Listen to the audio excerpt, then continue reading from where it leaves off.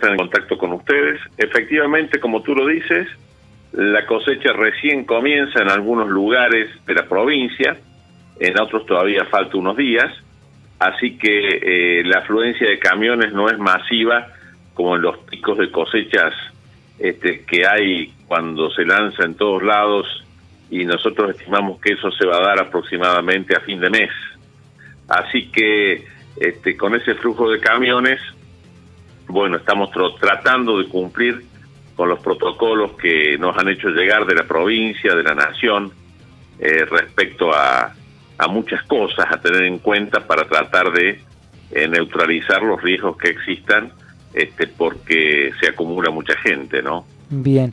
Eh, ¿Qué medidas eh, específicamente se han eh, implementado allí en la, en, la, en la playa de camiones, sabiendo ya que estamos en emergencia sanitaria? bueno, recién usted comenzó diciendo que van a evitar la, la aglomeración o que se junten muchos camiones. ¿Qué más se puede contar de lo que están implementando allí? Te comento, lo primero que se hizo fue acá hay un comedor para que usen los camioneros, ese comedor se cerró. Bien. Este, por una cuestión de que la gente no esté tan eh, tan tan tan cercana, ¿no es cierto?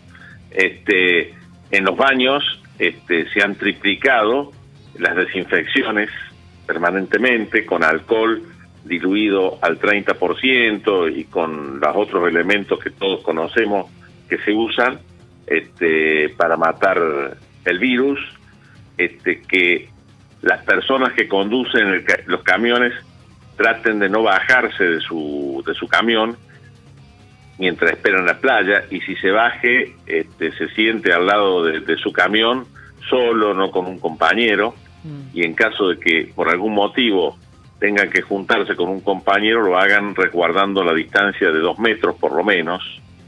Este, cuando el camión va a la descarga, también hacemos mantener la distancia mínima entre camión y cuando el conductor debe descender del camión porque la rampa este, así lo exige, este, que mantenga una distancia de por lo menos dos metros o más de la persona que está conduciendo la rampa.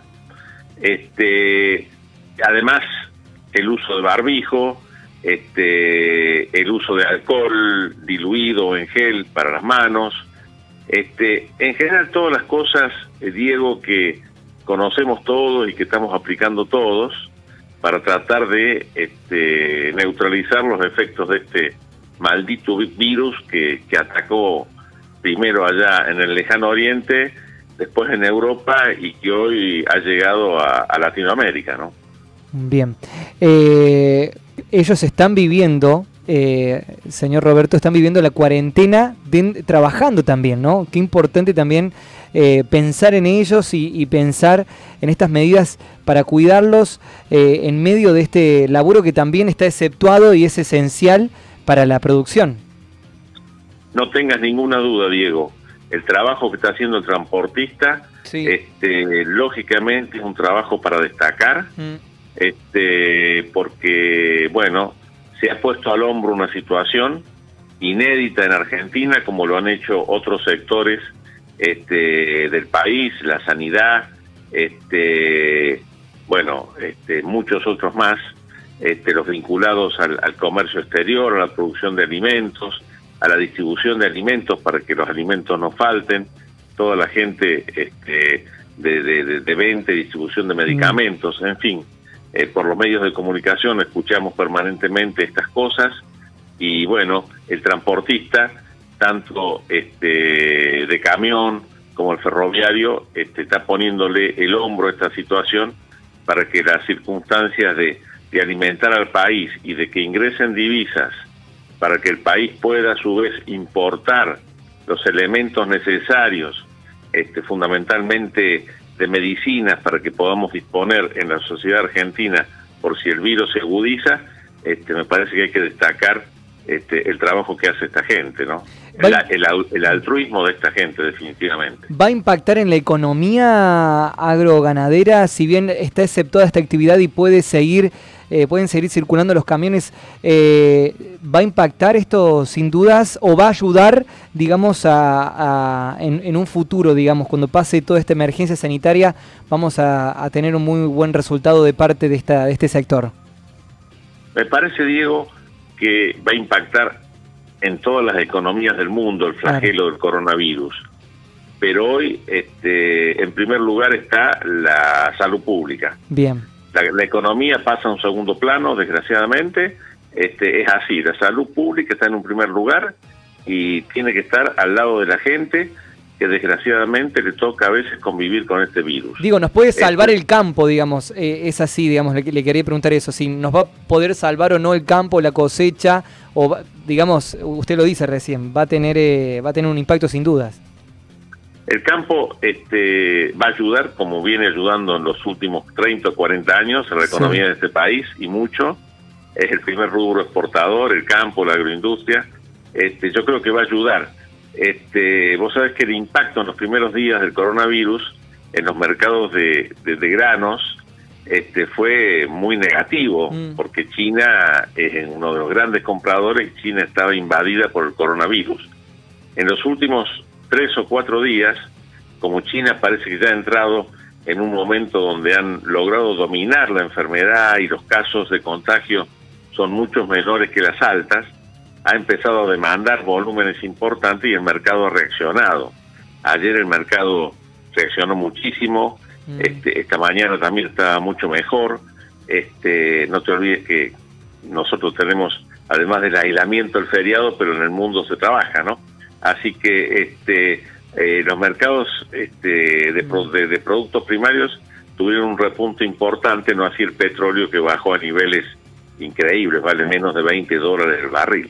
Pero bueno, el campo siempre ayudó, es el motor, pero te digo, Diego, me parece que hoy la lucha es eh, prepararnos en la salud pública y después la economía se verá, siempre tiene arreglo.